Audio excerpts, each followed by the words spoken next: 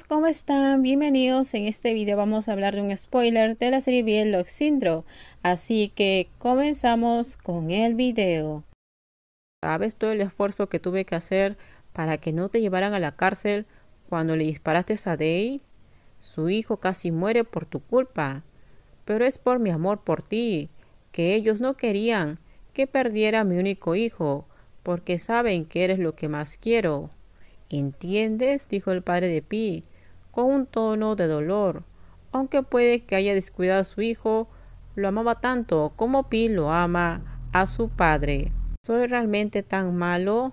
¿No es así, papá? preguntó Pi, con voz apagada. Ver la foto de su padre atado de pies y manos hizo que Pi sienta un gran dolor en el pecho, aunque ahora sabe que no es cierto. Lograron que Pi pensara en lo enojado que estaba Day y lo doloroso que fue ver a Ig en peligro. No es algo diferente. Solo fue una coincidencia que Ig llegara primero, así que no respondió nada. Todo depende de ti. ¿Vas a parar tu maldad?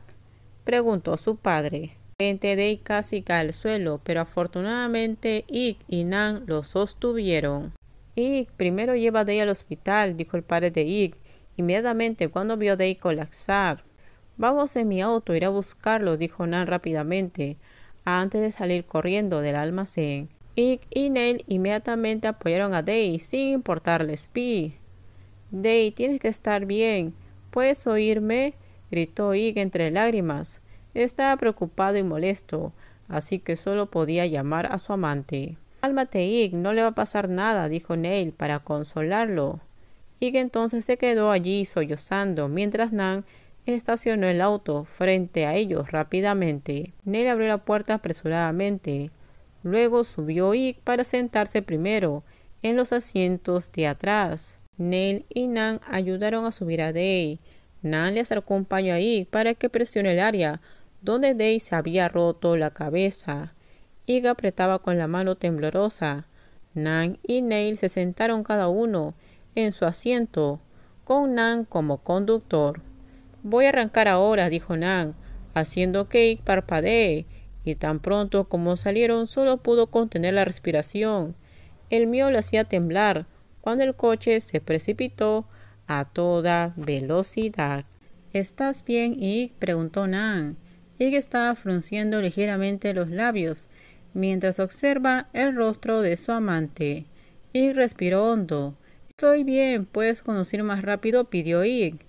Nell y Nan se miraron con expresión tensa y sintieron un poco de lástima por Ig. Condujo hasta el hospital del amigo del padre de Ig. Siéntate y espera, dijo Nan, tirando el brazo de Ig para que se sentara en una silla.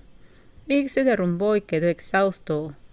Nan palmeó suavemente su hombro porque sabe que ahora debe tener miedo de perder a Day.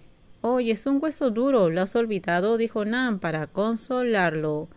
Doctor, ayude a Day, ayude a Day, Ig le dijo apresuradamente al amigo de su padre, con voz temblorosa. Y cálmate, déjame ir a ver a Day primero.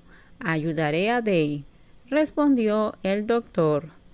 Había pasado más de una hora cuando el doctor abrió la puerta de sala de emergencia.